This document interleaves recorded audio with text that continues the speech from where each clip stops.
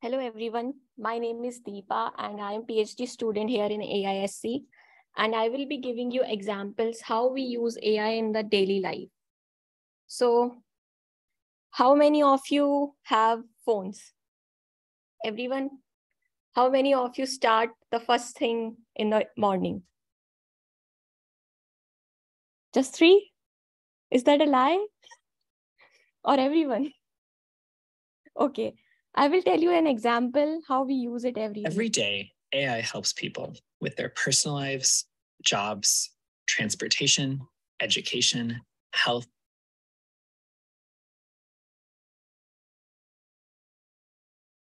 It's not. Wait. I'm not sure I understand.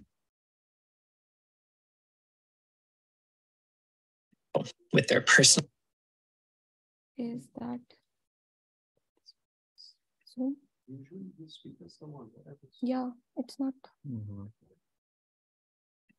I think it's because Zoom.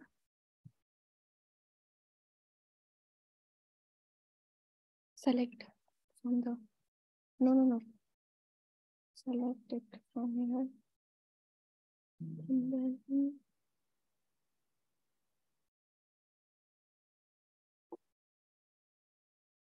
It is not showing me the speakers thing. yeah, it doesn't show it automatically goes there. Can you pause? health, and more, maybe even without them realizing it. Here are some examples of AI in action on a typical day. In the morning, a teenager wakes up and uses facial recognition to unlock her phone. She scrolls through social media feeds to see what's new. Then she asks the voice assistant on her phone what the weather is going to be like that day so she knows how to dress for school. A college student uses an app on his phone to deposit a birthday check from his grandmother. He takes a photo of the check and the app automatically reads the handwriting to figure out the amount. It then deposits it into his account. Meanwhile, a younger student uses a different app that is teaching her a new language. The app listens to what she says and can recognize what she's saying even if she makes mistakes. The app then gives her personalized feedback on her pronunciation. At the same time, a person gets in their car to go to work, and the navigation system plans the fastest route based on current traffic. In the car, they listen to a music streaming service, which already knows what types of songs they like based on what they listened to before. When a factory worker arrives at her job, she sees that, as usual, humans and robots are both assembling cars. The robots do some of the more dangerous or repetitive tasks, like welding or painting. AI helps the robots recognize the tools they need to pick up or check parts to make sure they have been cut exactly right. When the cars are completed, computers help manage inventory and plan efficient shipping routes to deliver them around the world. Now, meet a farmer who's checking on her crops. She notices that some of her plants look unhealthy. She pulls out her smartphone and uses an app to take a photo of the leaves. The app can detect crop disease and also identify harmful insects. The app identifies the problem and recommends treatment. A surgeon is using AI to help make a medical diagnosis for a patient, and then a robot helps her perform a successful surgery. Afterwards, she goes to visit patients in a nursing home where robots gently lift seniors in and out of bed and help them move around. In the meantime, a traveler needs to book a flight to another city. An automated customer service chatbot helps him book his ticket on the phone. Once he's on board, autopilot flies the plane for much of the flight. AI is even used in space. On the International Space Station, an astronaut talks to a free floating robot that helps with chores and does jobs that are risky for humans. Now that you've learned about how other people use AI every day, think about how you use it. Spend a few minutes. Okay, so I want you all to spend a few minutes and just list all the apps or like you have seen the examples and tell me in what sense you use AI.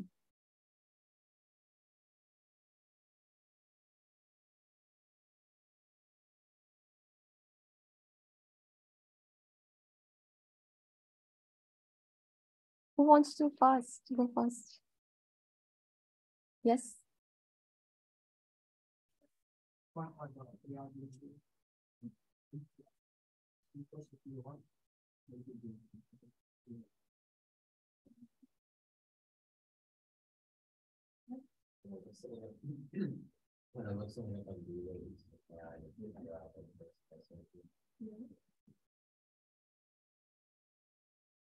best place is. How you even like calculating and also like the same thing like you said about the like for YouTube videos or see videos like you you like the thing you algorithms algorithms algorithms to search and see what you like in the file. Yes.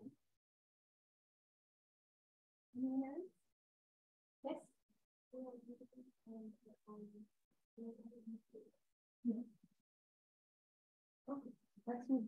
Okay, you know how to see where we are using AI nowadays, right? Okay. So uh, goals of AI is to make our lives better. AI can empower to handle like a lots of human tasks that can perform um, that can increase the human productivity and help uh, to deal with the environment like hazard, hazardous environment like you have seen the examples like robots are helping in welding welding and other tasks in the manufacturing uh, buildings. Uh, and also robot can take over all the dangerous jobs where we have to reduce the potential of accidents and injuries now, computers can handle all the repetitive and mundane tasks which human don't like to do. Like uh, if you give up to calculate something, like if you have to ask them to cal uh, calculate like 5 power 25. So that's a very mundane task. So AI can do that easily. Now, automatic these processes, we can free up the valuable time and our mental energy also. So which can be uh, used in other tasks uh, like imagine the possibility of uh, data entering, lengthy paperwork, and repetitive manual la labor. So there all we can use AI. Okay. And we need to design uh, design the environment where humans and machines can work together. We can create a world that can use technology and then we can progress on improve our quality of life. That's why AI is very useful. Now, there are uh, topics in AI. Um, so these are the main topics which can encompass like the various as aspects of computer science. It involves intelligent machines that can perform the tasks that typically require human intelligence. And there are fascinating uh, aspects where all these things can be used. So uh, out of that search, like uh, this kid just sorry i don't i don't remember the names but yeah. So that uh, that uh, kid just told us that search is the important thing which we use. Then representing knowledge as dr Sheth have uh, told that data is very important in our daily life. Then planning planning we use in the tasks like manufacturing robotics and amazon use a lot of planning. We will show you the example how amazon amazon use ai there then machine learning. So behind all of these, machine learning is an important aspect that use that is be, behind all of these things. Natural language processing, how doctors analyze their text. We have an example of that. Then expert systems, how doctors use the surgeries and use AI to do the surgeries. Then interacting with the environment like visions, games, and robotics. So let's talk about search. So how many of you use Google search? Everyone? Have you ever thought how Google search works? Can, can someone try to answer that?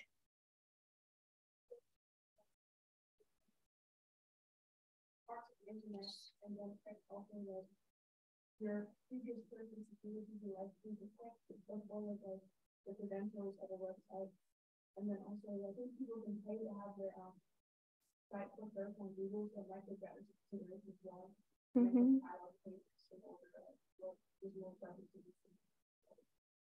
Yeah, that's true. So there are different ways we can search. Uh, we might want to find a way that that is suitable us and satisfy our goal. So it's like finding the first puzzle of pieces and even it's if it's the be best fit in that puzzle or not and we might to keep searching until we find our absolute uh, solution of our question now it's it's like carefully examining each puzzle pieces until we don't fit that puzzle. So search just like that. Let's see how Google search works.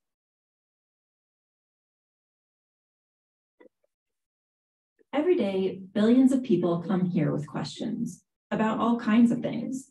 Sometimes we even get questions about Google search itself, like how this whole thing actually works. And while this is a subject entire books have been written about, there's a good chance you're in the market for something a little more concise. So let's say it's getting close to dinner and you want a recipe for lasagna.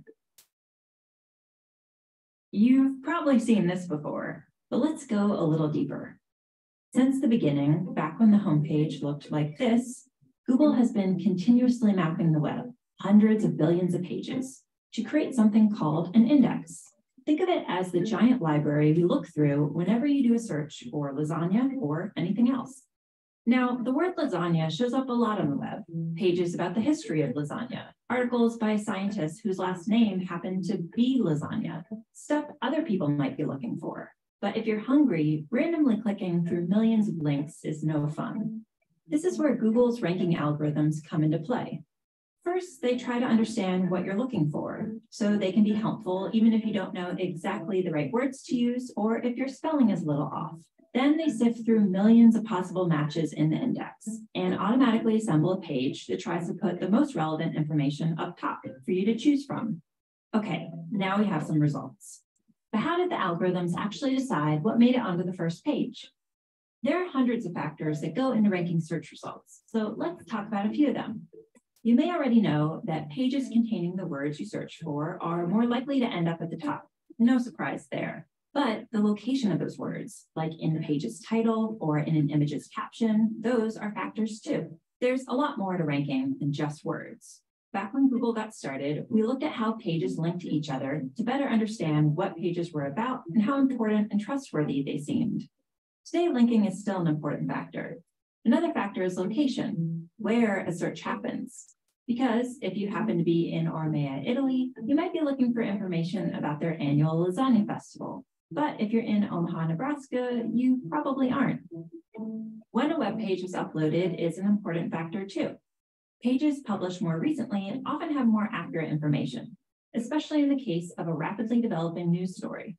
Of course, not every site in the web is trying to be helpful. Just like with robocalls on your phone or spam in your email, there are a lot of sites that only exist to scam, and every day scammers upload millions more of them. So just because instantvirusdownload.net lists the words lasagna recipe 400 times, that doesn't mean it's going to help you make dinner. We spend a lot of time trying to stay one step ahead of tricks like these, making sure our algorithms can recognize scam sites and flag them before they make it to your search results page.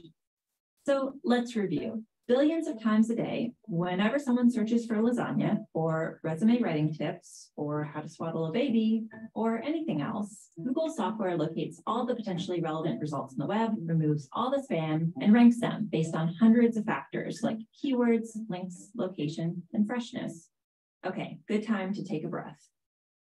This last part is about how we make changes to search, and it's important since 1998, when Google went online, people seem to have found our results pretty helpful. But the web is always changing, and people are always searching for new things. In fact, one in every seven searches is for something that's never been typed into the search box before by anyone ever. So we're always working on updates to search, thousands every year, which brings up a big question. How do we decide whether a change is making search more helpful? Well, one of the ways we evaluate potential updates to search is by asking people like you. Every day, thousands of search quality raters look at samples of search results side by side, then give feedback about the relevance and reliability of the information. To make sure those evaluations are consistent, the raters follow a list of search quality evaluator guidelines. Think of them as our publicly available guide to what makes a good result good. Oh, and one last thing to remember. We use responses from raters to evaluate changes, but they don't directly impact how search results are ranked. So there you have it. Every time you click search, our algorithms are analyzing the meaning of the words in your search, matching them to the content on the web, understanding what content is most likely to be helpful and reliable, and then automatically putting it all together in a neatly organized page designed to get you the info you need. All in about 0.81 seconds. Wow. Anyone else ready for dinner? Interested in learning more? We've got a whole website dedicated to how search works. So you can go onto the Google website and these links will be provided to you if you want to learn more. But isn't it interesting to learn about search? You use it in your daily life, right? How many of you use it for doing your homeworks? Oh, all of them. Nice. Does it help? Okay. Sorry. Yeah.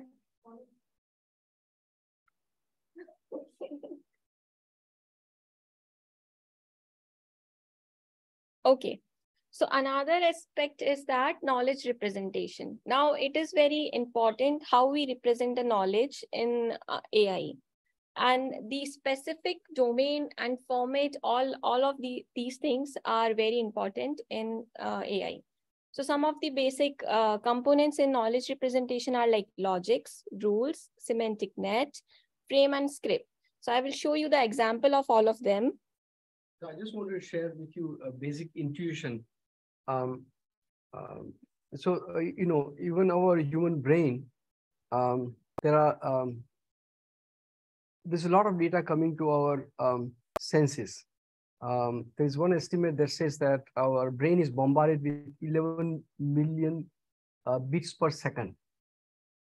Um, and in some things that that we work on, we take immediate decision. Uh, you know, uh, it's called perception. So if um, uh, a object is coming to your face, you immediately will duck. You won't be thinking really about it. You won't be saying, "Oh, should I duck or not?" You will duck it. Right? Um, uh, and so um, that kind of processing is called uh, system one processing, uh, fast processing. And um, it's also where um, program is ready to take the data and immediately make a decision. So when we do statistical processing, when you when you use uh, mathematics and stats to uh, take data and process it, uh, so typically, you know, the programs like machine learning, deep learning, they they work very fast. So the, to train them, it takes time, right? Uh, you know how you act given a data that takes a lot of time. That is what training in machine learning is about. But to use it to make the decision at the runtime is instantaneous, right? Um, however, um, there is some other uh, kind of processing that we do, our brain does, uh, which is called slow processing, thinking fast, thinking slow. So there is a, a Nobel uh, prize that was given to behavioral economist called Daniel Kahneman. And he came up with this theory. And then a lot of uh, neuroscientists and cognitive scientists have adapted that. And that's where uh, we also work with IBM on a collaboration in this area. So there you will do deliberate thinking. That means uh, you are getting some signal, like sensory signals, thinking, and you're going to think for a time. You're going to mull over it. And then you're going to decide you're constantly, some of you who are here are constantly thinking, um, you know, uh, do I like AI? Is this what I want to do in future? It's not ha happening in just one instance, right? So that is uh, slower processing. Now, um, a lot of things uh, that our brain does um, is uh, uh, uh, affected by our knowledge and experiences that we, we already have, right? So um, take the same data but you give it to two different persons with different expertise and different knowledge in the domain. Clearly, the results will be different, right? The same is here that you're going to have, um, uh, if you want to use knowledge when you are doing processing in AI processing, then you need that knowledge representation. Just as, so that kind of human knowledge that we have is captured and put into this representation that Deepa is talking about which then is used along with other uh, AI techniques, symbolic AI techniques, we call it, machine learning. Uh, uh, is not symbolic, sorry. Um, uh, the, the rule-based techniques and others. That, I, I, meant to say statistical, right here. A statistical one that, you know, machine learning based, that knowledge will improve what machine learning techniques can do. And that's why this part is very interesting and important. Okay. So lo logic-based representations are log uh, formal rules, rules like uh, relationship, conditions, and constraints that help AI system make uh, decisions and to draw conclusions. uh, let us take an example that we have Google Assistant. So how, uh, how many of you use Google Assistants or Siri? Siri? Okay, if you ask Siri that if it's raining outside and remind me taking an umbrella, what it will answer?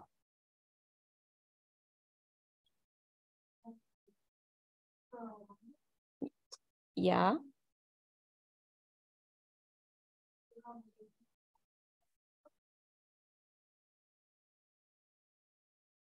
Mm-hmm. Yes. Yes.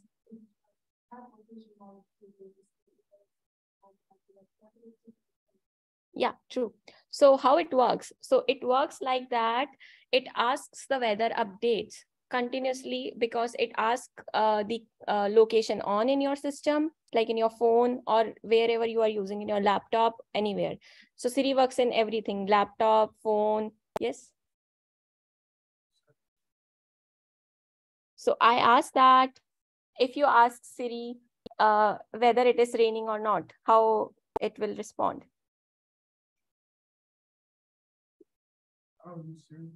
Or Google Assistant, any, any.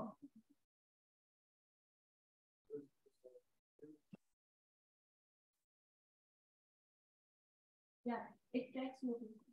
It tracks location when you provide the access to the location. So it asks the pop-up window that window will provide the uh, location information and then it just access your phone's location wherever you go. So it will check the weather condition over there. And if the weather condition is like uh, it's raining, then it will remind you to take an umbrella or not. So that is like applying a logical rule ways if you can remind whenever it detects rain. It works like how our brain system works, right? So if we see outside that it is raining or not, then we will decide like if we want to take an umbrella or not. So th that works like that. Now in the rules, uh, we have conditions and actions. They provide guidelines for decision making. Now this example is, is for the Google Calendar. Now it's uh, it's a SMS reminder for Google Calendar, which you can use. It's a very good application that reminds all of your classes. If you if you forgot that you have a class on weekend, so you can just ask this application that remind me an appointment that by text. So it will remind you by text by sending an follow-up message on your phone number. And it, it uses the rules that calendar has an appointment information, then the rules guides the assistant to describe and to provide a specific information. And uh, then uh, you can just see it on your messages. So uh, semantic net that represent the uh, knowledge is into like interconnected nodes and links. So how this works is like uh, we have a lot of documents over net, internet all over. And if we ask that, tell me the capital of France. So um, it will just search all the connected nodes and it will just search all, all the other things which is linked to that. And then it will give the answer that uh, France capital is Paris. And um, anything you can ask, like it will provide you the answer. And if you ask a math question also, it will give you an answer by calculating it like what is two into four or what is four into six, right? And frames. So frames is like object or concept uh, in organizing all the attributes, attribute values and associated with that concept. And each frame contains information of character properties and behaviors. So this is an example. I was doing a Google search last night and I asked that just find the restaurants near me. So if you see the location, that's where we are right now. And it will just here, here we are right now. And it, it just find me the close by restaurants in near me. So how it did work, it worked like it first collects our information of location. After location, it just linked it to the uh, nearby restaurants and it just giving us the uh, list of restaurants which are nearby and it also shows that which of them are closed and which of them are open. So this is how uh, frames represent in the knowledge representation. This is another concept of scripts and uh, Google come up with this uh, very new technology that you can design your like you can um, you can ask the google assistant to book your flight tickets your hotel tickets by sending just a message and it will just uh, collect all your information of the credit card that is saved into your phone and it will just book a ticket for you so scripts capture all the events that are in sequence like I want to do this right now and do that night, th that after that. So it will just plan and just give you a trip details. Okay. Any questions? No? Okay. So we'll move forward.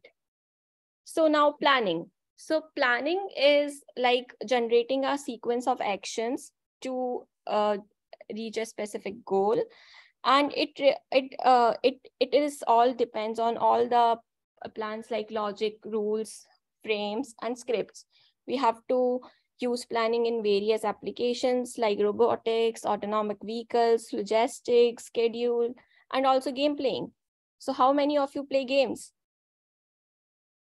and there are like uh, uh, instances in which you try to shoot someone and you are not able to right I don't know the specific games because I'm not a game player, but yeah, I know that how games works. So it just uh, saves the logics in there. Like if you want to turn right or, or if you want to turn left, if you turn right, you will show, it will like show up with a, uh, with a character which will try to shoot you down, right? Who played games here? Can someone wants to explain? Yes. Any any game.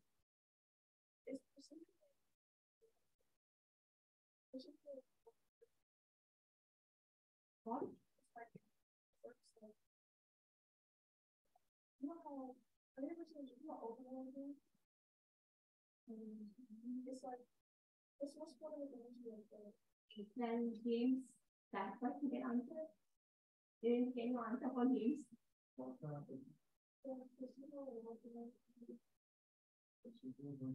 Yeah, it does. That that's every use. Uh, you're talking about the Unity 5, this new advancements or something like you can, yeah. So right now they they have made like two major applications like uh, if you know Unity, that is used for game development and uh, Real Engine that is used for game development. There you can have your own game you need to know, like, you need to understand the software, but those procedural things, you, you just copy a scene and extend it from, like, let's say you have a, a forest and you want to add trees, you want to add mountains as your game plays, it can be done. And that is it. Yes. I think there is a session. For games, yeah, there will be a session in which you will learn how to do the Rubik cubes and uh, chess, I guess. So you will learn about that. But yeah, all these things need planning, need rules, need logics, and all of the things which we saw in the earlier slides. Now, these are some of the application. How many of heard about Tesla?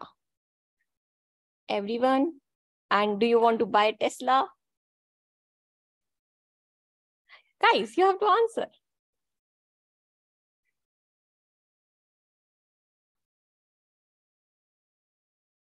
Are you fascinated about how it works?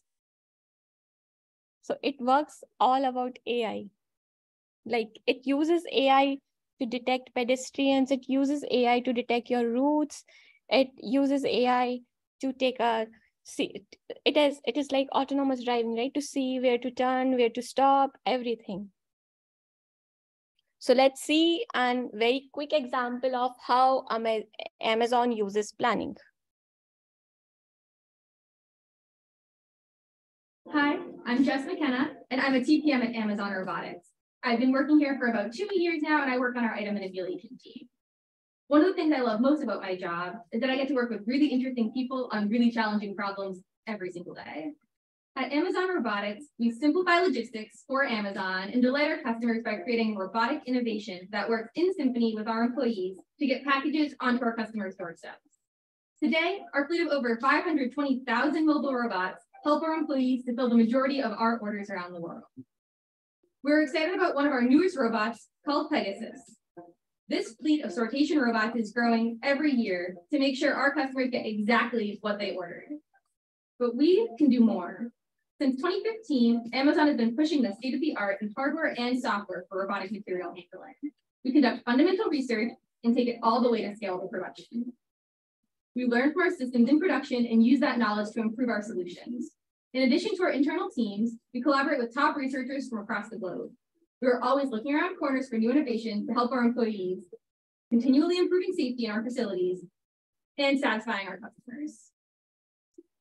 We've already shown the world our first robotic index station, or as we call it, Robin. Our peak season between the holidays and New Year gives robotic capabilities a chance to shine. Today, we have tons of Robin stations working to sort millions of packages. This year, we'll be expanding that number to thousands of Robin stations in our facilities to sort over 2 million packages a day. At Amazon Robotics, we believe that tackling the world's most difficult challenges in robotics is the most interesting and rewarding work that we can do. Come join our diverse team of engineers, scientists, and program managers and be part of something great with us, where you can see your imagination come to life. So how many of you use Amazon? All of the, nice. Have you ever think about that? How does it work? Now you know how does it work, right? So if you, next time, if you order something online, you have to you you know like how amazon works when you add anything into the cart from cart you put your address then use the credit card details all this is ai so you are using ai every day okay any questions so far and you are going to see some of the parts in the manufacturing visit.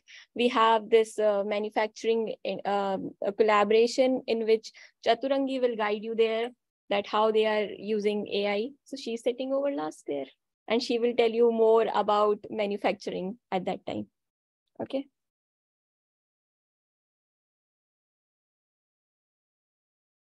Expert systems. So how many of you have visited doctors who are using tools?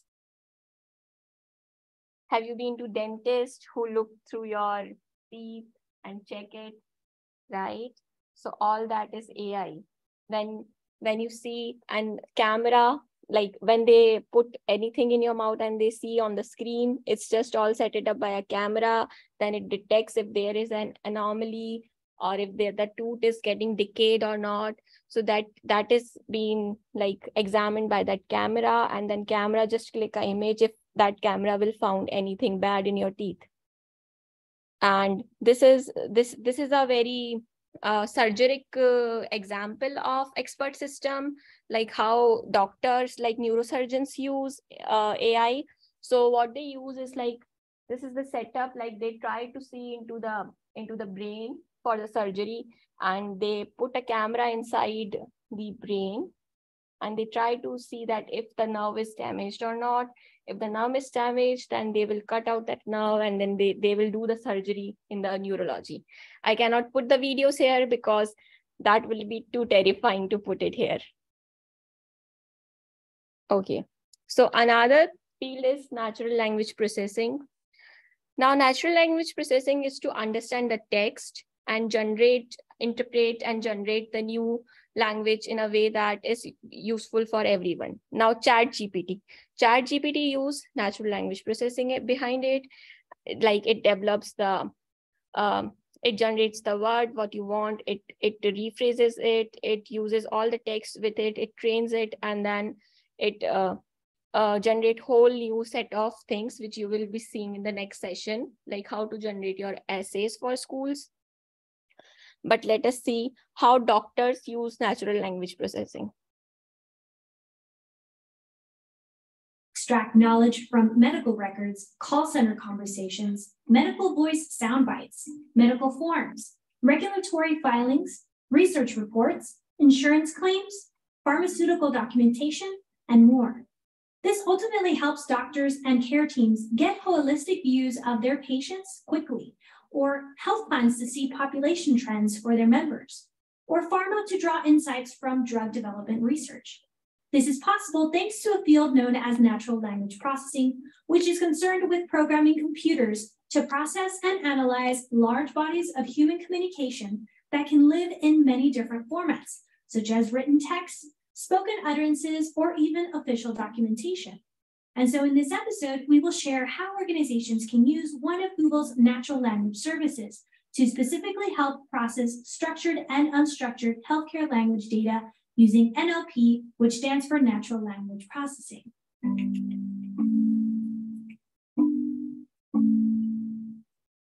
The Healthcare Natural Language API contains four key features that help you find, assess, and link knowledge in your data in the following ways. For one, it has the ability to map text to medical concepts, which is referred to as knowledge extraction. It also identifies and connects related medical attributes, which is known as relation extraction.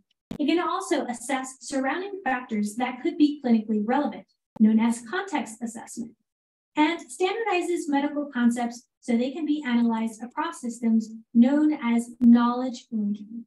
Another way of thinking about NLP is that it can extract critical clinical information like medications, medical conditions, as well as understand context like mitigation such as this patient does not have diabetes.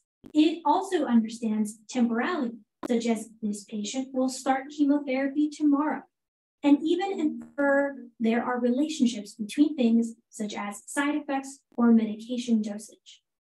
And what's most notable is we have a long list of ontologies the natural language models are trained with. Two notable ones are the ICD, which is used to code and classify morbidity data from inpatient and outpatient records, physician offices, and most National Center for Health Statistics surveys.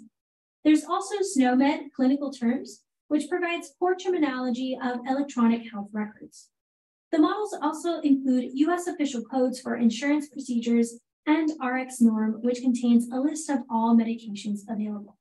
Technical practitioners can leverage healthcare NLP to build apps for their own organization or for their entire industry, such as enabling precise search and discoverability across patient populations, enable exchange of digital healthcare information and avoid processing delays, establish and maintain regulatory compliance, or automate administrative workflows such as identifying and eliminating errors that require corrective activities. Anyone who has science-based text around research or clinical data can get value from our healthcare NLP API. Here are a few sectors that can benefit, to name a few. In telehealth, you now have off-the-shelf support for exchanging medical knowledge captured in written form and can extract structured knowledge from text and make it available for digital services such as chatbots, call centers, clinical decision support systems, this also frees up time by triaging patient calls and resolving cases that do not require the intervention of a clinical professional. Pharmaceutical researchers are also enabled via a standard patient discovery interface for population health and R&D applications since papers and clinical trial documentation can be surfaced to match patients or find novel treatments.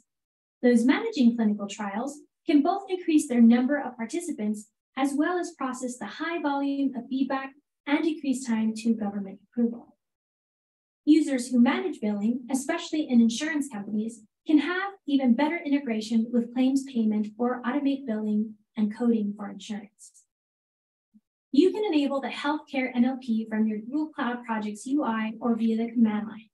If you do not have a project, there's a link in the description along with other helpful resources. And once you have set up permissions, you can begin using its context-aware models to extract medical entities, relations, and contextual attributes. Each text entity is extracted into a medical dictionary entry. To extract medical text, make a post request and specify the following information in the request. First, the name of the parent service, including the project ID and location. Also the target text. The maximum size is 10,000 Unicode characters at this time. Let's quickly show you how you can leverage the Natural Language Healthcare API. We built a demo application with a JavaScript front end to visually understand the output of the Healthcare NLP API. Let's test out the sample medical record for a hospital patient.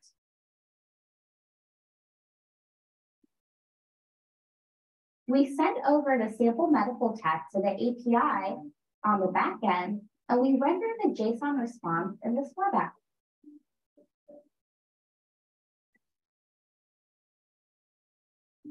In the first panel down here, we can see the various entities extracted and their corresponding medical code. Next, we can see their diagnoses with their corresponding confidence scores. Now, looking at the relationships between the entities, we can actually group together important attributes. For example, take a look at how long and how much of these medications are taken or were prescribed. There are so many possibilities when using healthcare NLP, and especially when you pair it with Google services such as Dialogflow AI for a chatbot interface. You can even build custom models to build low-code apps using AutoML entity extraction for healthcare so that users can simply upload documents and then perform manual annotations to train and build a model on what they would like to extract. This can then be integrated into larger data pipelines. You can also use Document AI to process fax documents or enable enterprise search for life science organizations using the Google Knowledge Graph. To learn more about the Healthcare Natural Language API, you can visit cloud.google.com, Healthcare Docs Concepts NLP.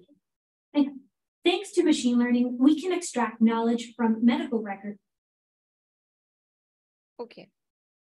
So you have all seen how Google is so important in every field, right? And you use Google every day right now there are some other examples of AI, like how to interact with the environment.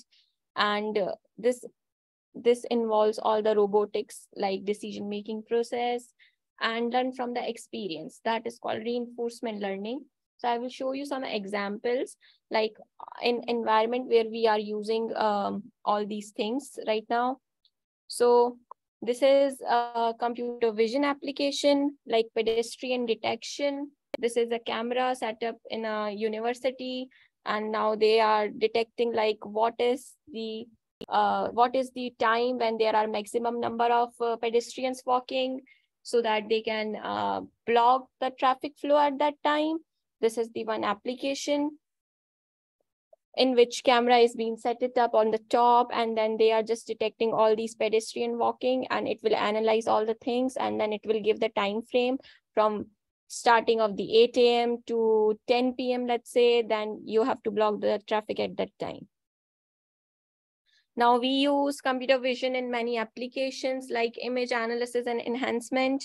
So how many of you use uh, uh, image, like image uh, corrector or tools like that? Yeah, filters, Snapchat, Instagram, just to. People don't use Instagram here? Snapchat? No? Okay. So in that, you see the application of AI also. When you just swipe the filters and change it, you put some bunny faces, you put a tongue in front of your faces, it just detect your face and then just filter it out with the filter what you want. So this is image quality resolution. Uh, than in games. So this is a very funny video. I will let you see it. So just give you the context. Uh, this uh, this is Albert. Albert is trying to walk, and we will see how Albert uh, learns to walk.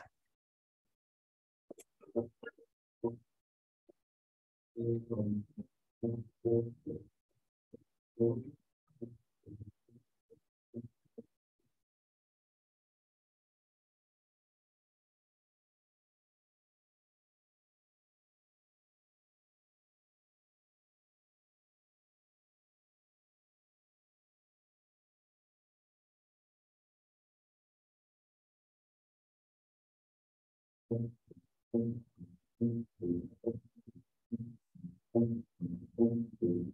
you.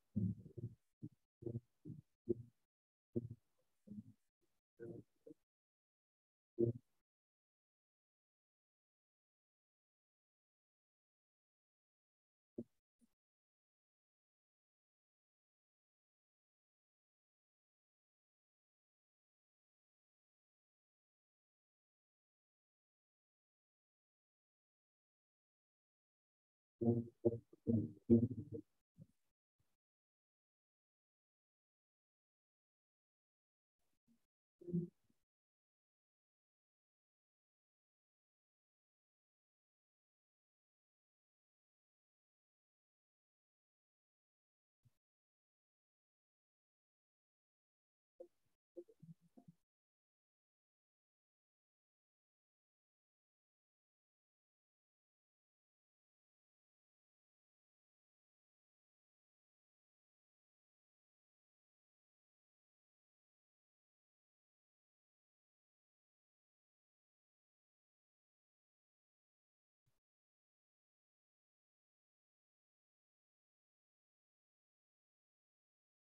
Okay, so do you understand anything here? Can someone try to answer it?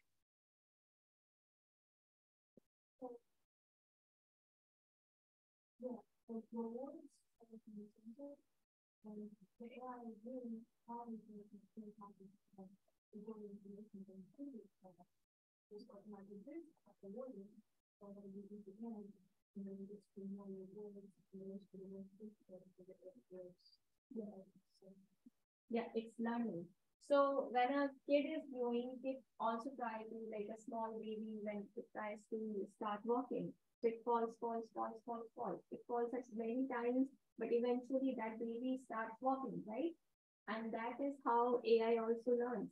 Like it will fall a lot of time, but it will learn from and retrain, retrain it its its algorithm and it will learn how to like walk. This is an example just related to like how baby starts walking right? And how many of you know about Garry Kas- Kasparov? Kasparov, sorry. Just one. Do, do you want to tell everyone who is he? Yeah Yes. So in 2006, uh, I guess, right? Yeah. So around that time, uh, Garry Kasparov get beaten by the AI chess, and it make him so sad that he was still trying to beat AI, but he couldn't, and it failed.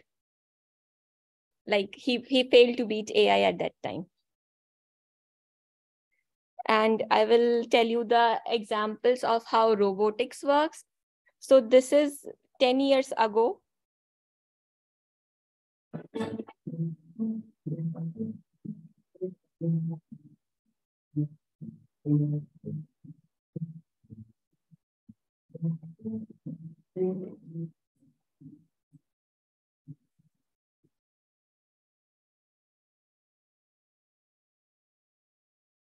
So this example was from DARPA and at that time, 10 years ago, they were trying to make robots to do all the normal things like we human do, like open the gate and then follow from that gate and help others and do the collaboration with other robots. But they did fail at that time. But now in 2023, we have Boston Dynamics robots and that can collaborate with each other. Like this robot don't have any arm to open the gate, but it is looking through the gate and he will, that robot will uh, direct to the other robot who have the gate.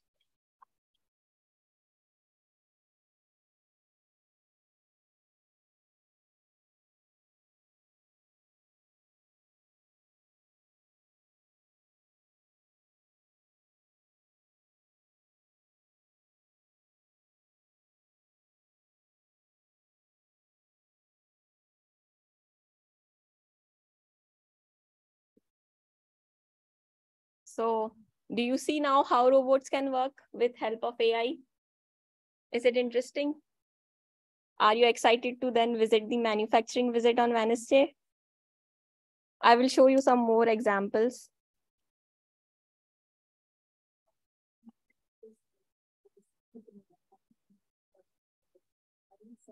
Yeah, yeah. I am uh, just opening up an example of how AI doing game and how it learns. So I'm giving them an exercise.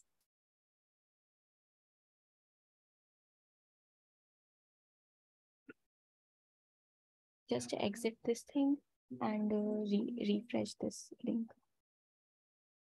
Link.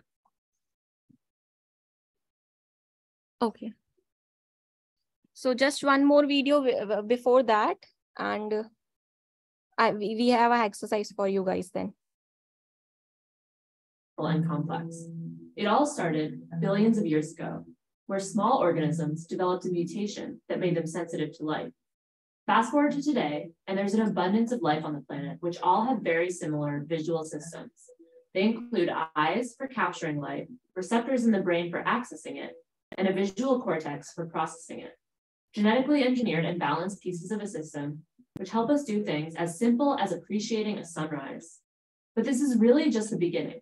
In the past 30 years, we've made even more strides to extending this amazing visual ability, not just to ourselves, but to machines as well. The first type of photographic camera was invented around 1816, where a small box held a piece of paper coated with silver chloride. When the shutter was open, the silver chloride would darken where it was exposed to light. Now, 200 years later, we have much more advanced versions of the system that can capture photos right into digital form. So we've been able to, human vision is amazingly beautiful and complex. It all. So this is respect to the video of robots, which I showed you, like how it is able to detect the gate and it will tell you like how uh, the computer vision works because there is an application of computer vision over there. So I just want to uh, let you know all guys like how what is the background processing and how much task it is to create robots like that the easy part understanding what's in the photo is much more difficult consider this picture. My human brain can look at it and immediately know that it's a flower. Our brains are cheating since we've got a couple million years worth of evolutionary context to help immediately understand what this is. But a computer doesn't have that same advantage. To an algorithm, the image looks like this, just a massive array of integer values, which represent intensities across the color spectrum. There's no context here, just a massive pile of data. It turns out that the context is the mm-hmm. crux of getting algorithms to understand image content in the same way that the human brain does. And to make this work, we use an algorithm very similar to how the human brain operates, using machine learning. Machine learning allows us to effectively train the context for a data set so that an algorithm can understand what all those numbers in a specific organization actually represent. And what if we have images that are difficult for a human to classify? Can machine learning achieve better accuracy? For example, let's take a look at these images of sheepdogs and mops, where it's pretty hard even for us to differentiate between the two. With the machine learning model, we can take a bunch of images of sheepdogs and mops, and as long as we feed it enough data, it will eventually be able to properly tell the difference between the two. Computer vision is taking on increasingly complex challenges and is seeing accuracy that rivals humans performing the same image recognition tasks. But like humans, these models aren't perfect. They do sometimes make mistakes. The specific type of neural network that accomplishes this is called a convolutional neural network, or CNN. CNNs work by breaking an image down into smaller groups of pixels called a filter. Each filter is a matrix of pixels, and the network does a series of calculations on these pixels, comparing them against pixels in the specific patterns the network is looking for. In the first layer of a CNN, it is able to detect high-level patterns like rough edges and curves. As the network performs more convolutions, it can begin to identify specific objects like faces and animals. How does a CNN know what to look for and if its prediction is accurate? This is done through a large amount of labeled training data. When the CNN starts, all of the filter values are randomized. As a result, its initial predictions make little sense. Each time the CNN makes a prediction against labeled data, it uses an error function to compare how close its prediction was to the image's actual label. Based on this error or loss function, the CNN updates its filter values and starts the process again. Ideally, each iteration performs with slightly more accuracy. What if instead of analyzing a single image, we want to analyze a video using machine learning? At its core, a video is just a series of image frames. To analyze a video, we can build on our CNN for image analysis. In still images, we can use CNNs to identify features, but when we move to video, things get more difficult since the items we're identifying might change over time. Or, more likely, there's context between the video frames that's highly important to labeling. For example, if there's a picture of a half full cardboard box, we might want to label it packing a box or unpacking a box, depending on the frames before and after it. This is where CNNs come up lacking. They can only take into account spatial features, the visual data in an image, but can't handle temporal or time features, how a frame is related to the one before it. To address this issue, we have to take the output of our CNN and feed it into another model, which can handle the temporal nature of our videos. This type of model is called a recurrent neural network, or RNN. While a CNN treats groups of pixels independently, an RNN can retain information about what it's already processed and use that in its decision-making. RNNs can handle many types of input and output data. In this example of classifying videos, we train the RNN by passing it a sequence of frame descriptions, empty box, open box, closing box, and finally a label, packing. As the RNN processes each sequence, it uses a loss or error function to compare its predicted output with the correct label. Then it adjusts the weights and processes the sequence again until it achieves a higher accuracy. The challenge with these approaches to image and video models, however, is that the amount of data we need to truly mimic human vision is incredibly large. If we train our model to recognize this picture of a duck, as long as we're given this one picture with this lighting, color, angle, and shape, we can see that it's a duck. But if you change any of that, or even just rotate the duck, the algorithm might not understand what it is anymore. Now, this is the big picture problem. To get an algorithm to truly understand and recognize image content the way the human brain does, you need to feed it incredibly large amounts of data of millions of objects across thousands of angles, all annotated and properly defined. The problem is so big that if you're a small startup or a company lean on funding, there's just no resources available for you to do that. This is why technologies like Google Cloud Vision and Video. So now I have a little exercise for you to understand all these concepts. Uh, let's see, you can play this game. Okay. So Quick Draw is also developed by Google and it allows you to uh, draw a picture of object or idea and then this neural network, which you learned about right now, it will just guess that what drawings it represent. And from each drawing, its ability, like if AI is doing well, what you are drawing, it will just guess. So you can try a quick draw with google.com.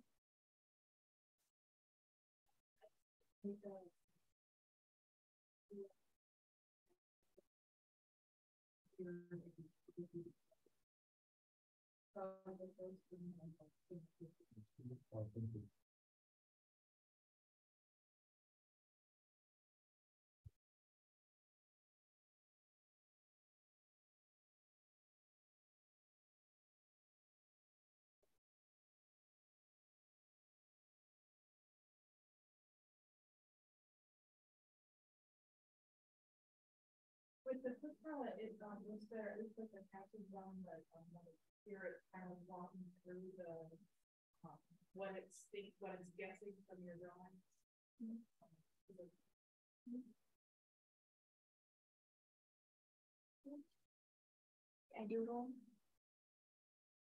So you have access to USC guest Wi-Fi, I guess.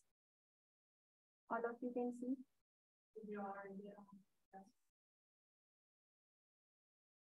or otherwise you can connect to AISC front room. I can just put in the details of that.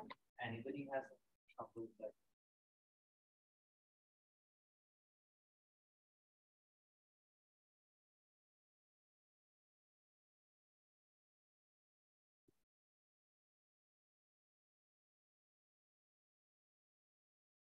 Thank you.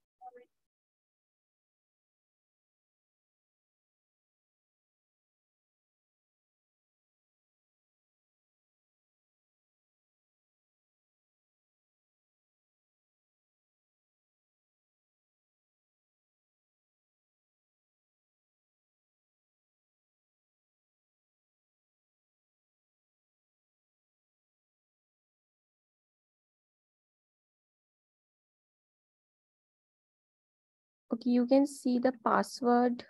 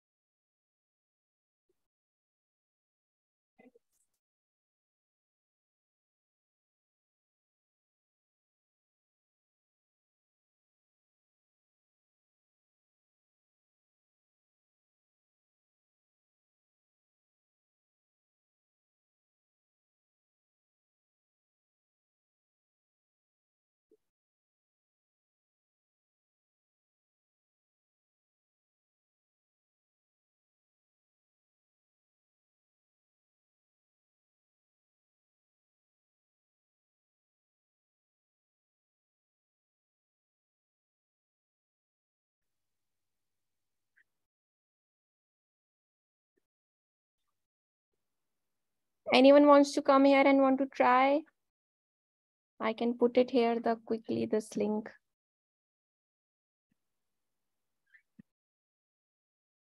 Who want to volunteer? Anyone from students? Yeah, come on.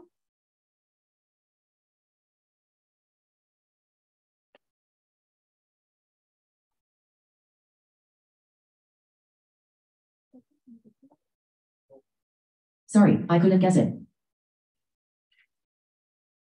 Is it touchscreen? Yeah, it's it's just like no, it's is it? No. Oh, it's so slow. I see knee. It's so slow. I see wishbone. It's so slow. Or foot. Or shoe. Oh, I know. It's ceiling fan. Do you have a way to turn up the sensitivity? it says laptop. Oh. I see finger. Or animal migration. Or bear. I see tiger. Or raccoon. It's so slow. I see owl. I see black cat. I see rhinoceros. Oh, I know. It's cat. I see bench. Or swimming pool. Or sandwich. Or saw. I see bottle cap. I see key. Oh, I know. It's crocodile. I see paperclip. Or dumbbell. Or seesaw. Or trombone. I see clarinet. Oh, I know. It's mosquito. I see squiggle. Or bat. Or dolphin. Or shark. Oh, I know. It's rhinoceros. Okay. Awesome.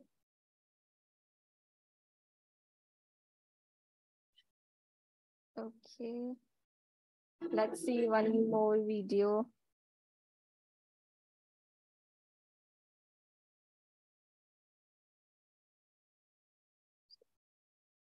It's the last video there.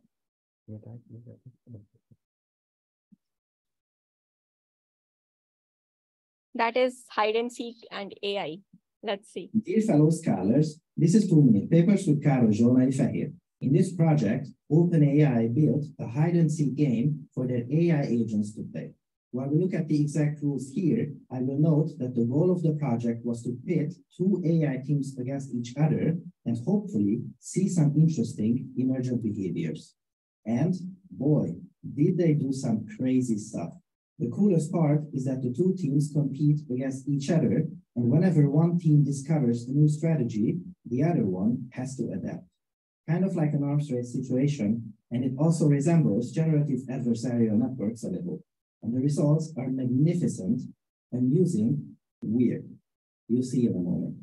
These agents learn from previous experiences, and to the surprise of no one, for the first few million rounds, we start out with pandemonium. Everyone just running around aimlessly. Without proper strategy and semi-random movements, the seekers are favored and hence win the majority of the games. Nothing to see here. Then, over time, the hiders learn to lock out the seekers by blocking the doors off with these boxes and started winning consistently. I think the coolest part about this is that the map was deliberately designed by the OpenAI scientists in a way that the hiders can only succeed through collaboration. They cannot win alone, and hence they are forced to learn to work together, which they did quite well. But then something happened. Did you notice this pointy doorstop shaped object? Are you thinking what I'm thinking? Well, probably. And not only that, but about 10 million rounds later, the AI also discovered that it can be pushed near a wall and be used as a ramp, and ta-da, got him the seeker started winning more again. So the ball is now back on the court of the hiders. Can you defend this? If so, how? Well, these resourceful little critters learned that since there is a little time at the start of the game when the seekers are frozen, apparently during this time they cannot see them, so why not just sneak out, steal the ramp, and lock it away from them? Absolutely incredible. Look at those happy eyes as they are carrying that ramp.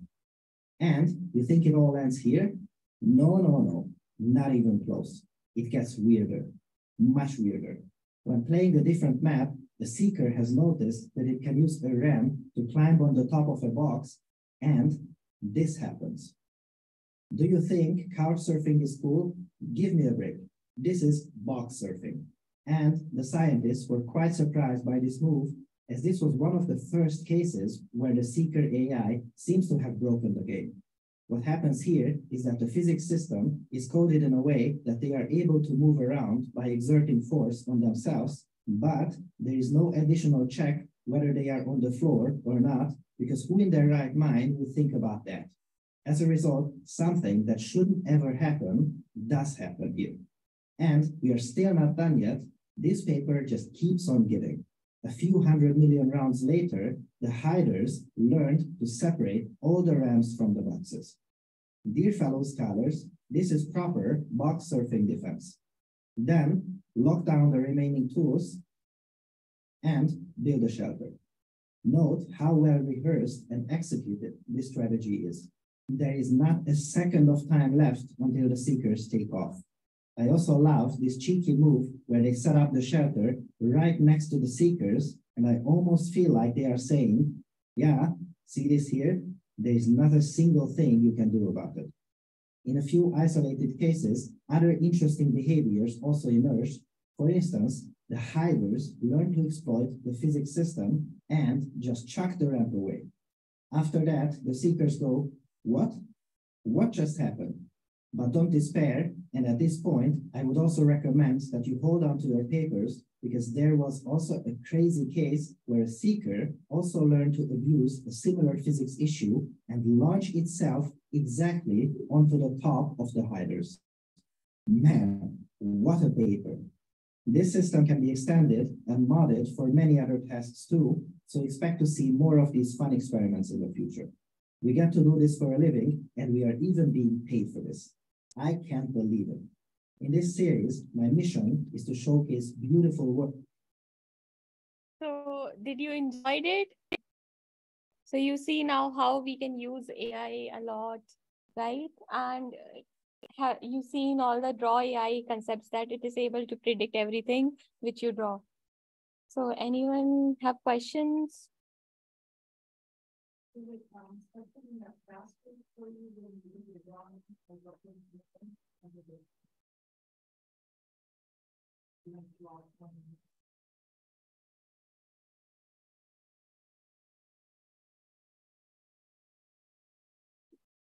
It's supposed to be random because you're not shading the, you're just testing it.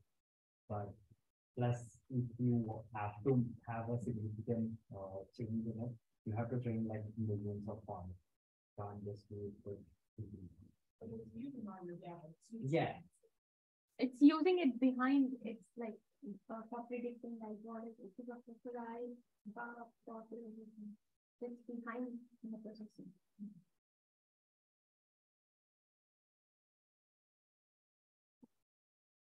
Thank you. And we will be ready for lunch. We just.